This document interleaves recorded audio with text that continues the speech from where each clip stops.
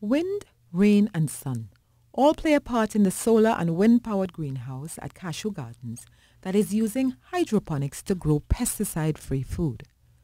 The project, the first of its kind in Trinidad, is a collaborative effort with the Community Council, the United Nations Development Programme, Habitat for Humanity, the University of the West Indies, the Digicel Foundation and others. Ms. Alicia Hospitalis from the Digicel Foundation indicated their contribution to the project was in securing the property.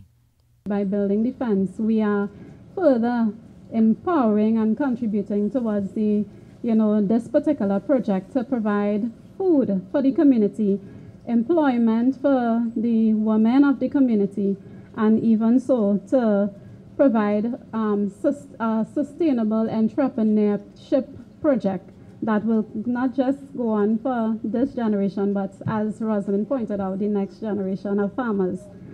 National Director at Habitat for Humanity TT, Jennifer Messiah, said the greenhouse was not the usual type of project the organization assists with, but stressed that Habitat for Humanity's aim was to help communities. We've completed 16 community projects which range from this particular wonderful solar greenhouse system today, which is the last project to come on board. We've just completed a jogging track in Vance River. We've done a number of um, retaining walls, community drains, community environment systems for disposal of rubbish, and a number of other community projects. The Cashew Gardens Climate Smart Greenhouses first project was providing composting services for the community and the garden by recycling food waste in the area.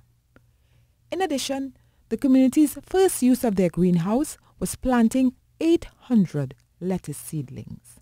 Terry Ann Browne Campbell, TTT News.